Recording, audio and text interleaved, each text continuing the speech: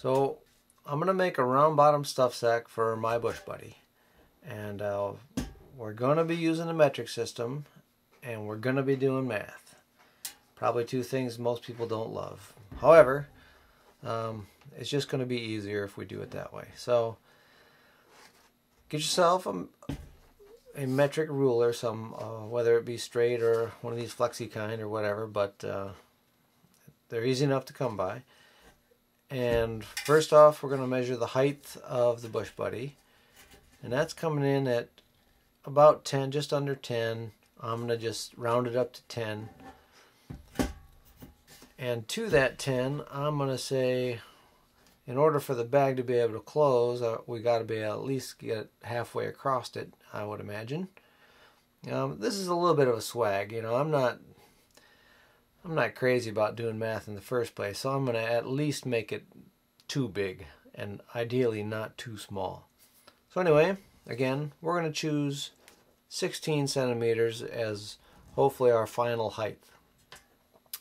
Uh, we need to add our seam allowance to that, and uh, throughout this project I'll be using a 1 centimeter seam allowance. So to sew the bottom onto the bag, we'll add one seam allowance, 1 centimeter. And then to make the rolled top sort of drawstring channel area, that requires, for the way I do it, uh, or for the way I'll be doing it on this, that requires three centimeters of additional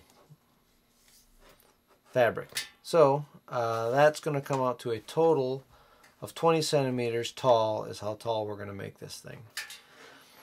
Next thing we want to know is how big around to make it. And it's about 34 centimeters around, close enough. Uh, however, what we don't want is to not be able to get it inside of there. So we're going to give it a little wiggle room and call it 36 centimeters. That should give us enough to get inside, hopefully. And to that, we need to add two additional centimeters just for the seam allowance so we can sew the thing together. So I'm going to take my piece of uh, scrap. Where is it at? This guy here. It's just some scrap sil nylon I've had. I've got, and I'm going to cut a rectangle out of it that is 20 tall by 38 wide. Another point is we don't want to make the circle just yet. Uh, you'll see in a bit, but all we're focused on right now is the body of the bag not the bottom.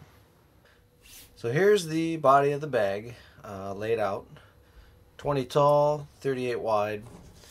And what we're going to do is fold it, fold it over. And we're going to start out by sewing two centimeters down this edge. We're going to skip a space of two centimeters and then sew the rest of the way down. This is, and my seam allowance is one centimeter. So one centimeter over, we're going to sew down two centimeters, skip two centimeters, and then down the rest of the way. That two centimeter skip is where the opening is going to be for the drawstring channel to come out. Alright, so now you see two centimeters, skip two centimeters, the rest of the way down.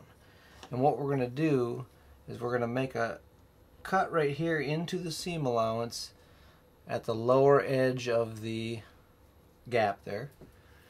And we're going to fold that open. Let me just do that. We'll snip it with these guys. Do not cut the threads, just get near them. And what we're going to do now is we're going to spread this apart and sew it down. And what you're going to do is start at one side, sew that down and come to a point below it, and then sew back up the other side. Do a back tack at each end of that. And what that's going to form is the hole in it for your drawstring and then this end is going to make ultimately the rolled hem and that opening will end up right in the middle of the rolled of the drawstring channel rolled hem thing. Now you can, oh, it's worth noting that while sewing this, what you don't want to do is sew it to the back side of the bag. Um, make sure you fold this down out of the way and just sew through, through one side of the bag. Um, so you can see it starts up here, comes down, goes back up. And here's the gap in the drawstring channel. So that is that is that. Um, next thing we're going to do is to make the drawstring channel, we're going to measure down two centimeters and make a mark. Yeah. And then also five centimeters in and make another mark. And uh, we'll do that throughout around the whole bag because what we're going to do is make a fold it's always easier to make a fold to line than a fold on line. So I'm going to fold to the two millimeter line and put a good, I'll probably just put a finger crease in it. And then I'm going to fold to the five centimeter line and good, good finger press on that. And actually, once you got that sort of already sorted out, you want to turn the bag inside out, or excuse me, right side out. And, it, and so around that, on this lower inside a hem. So you're going through three layers of fabric right there. You're, you're just encapsulating the raw edge and you're going to sew in around that you know eighth inch from the edge or just just off the edge okay as you can see now we've got the body of the bag complete um, the hem of the drawstring channel is actually is inside the bag, so when you were sewing it, you would have been sewing it around like that. And the apex of the opening is at the top of the drawstring channel. And when we're all done, we'll fish a string through there to make that good. Um, but now is when we start the math portion of this project, the real math. What we want to do is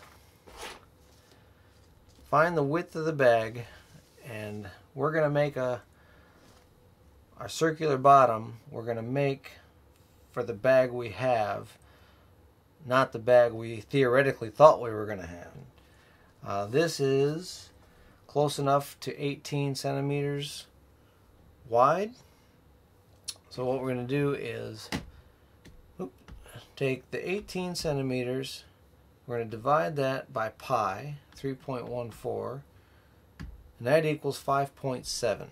Uh, I'm not interested in three three millimeter difference, so I'm just going to call it six.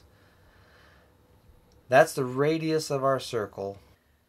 Next thing we want to do is add one centimeter to that, and that's so that's going to be seven centimeters is where we're going to make the our circle. You know, the radius of our circle is going to be seven centimeters. So what I've done is taken the remainder of my piece of scrap and I just folded it into fours, into quarters or whatever. So, so that I end up with four layers thick. Um. I'm going to pin this guy down so it doesn't move around on me. Hence the piece of wood. It's hard.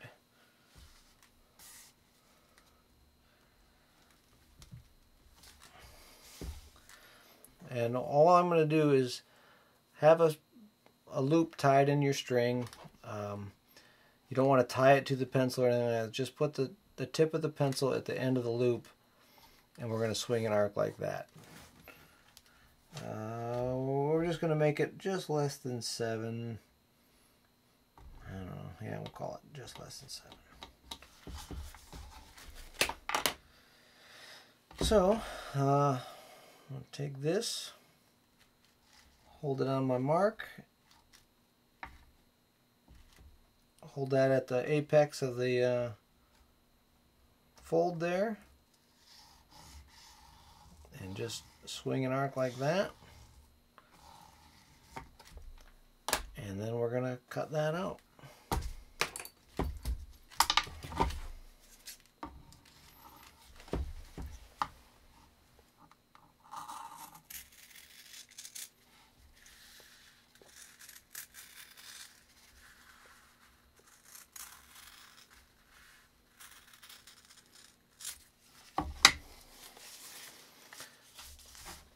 And there's our circle. Should be fit just to our bag. Um, what we're going to do to sew this onto the bag is basically turn the bag back inside out. So your seams all end up on the inside in the end. Uh, we're going to place this into the sewing machine or put the circle in and what you want to do is as you feed this through the machine you feed the bag straight and you just spin the circle to meet the edge. So this the circle here is going to be coming up and you're just going to feed that and th this is going to go straight and the circle is just going to spin around and you're going to be sewing at your one centimeter in mark and uh, which you can mark it if you want I just use the edge on the sewing machine the footbed there and in a perfect world you'll end up right where you started and it'll fit uh, you might end up with a pucker if it's a little big here or there nobody's going to notice a pucker in the bottom Alright, so um, there it is. I've, I've already turned it inside out or right side out. Uh, yeah. I've got a reasonably large pucker right there where I had to make up some of the, you know, I had a little extra fabric, but uh, it certainly doesn't bother me and it certainly doesn't affect the, uh, the way it works. And then just to give it a test fit, perfect world, this thing will actually fit inside of it.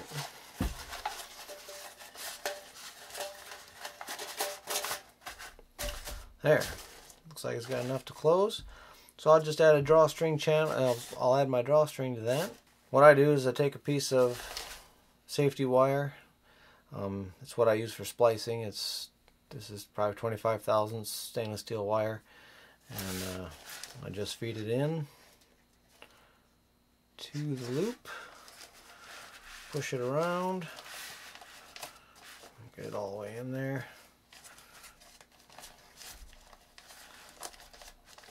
Out the rest of the way. And uh, I'm just going to use a piece of mason twine because I've, I've got some. Just put this in here.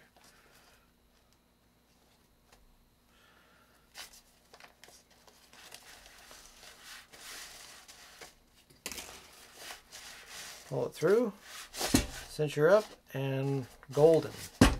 That thing came out like it was made for it. So that's it, you know, cord lock, whatever on there to keep that guy shut.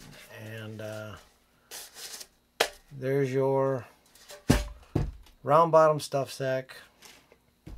Just apply the principles. You don't, you know, you can make them any size. I would imagine that the drawstring channel information would work doesn't matter how big or small your bag is, that ought to be enough drawstring for just about anything. So that's it. That's the uh, round bottom stuff sack in a nutshell.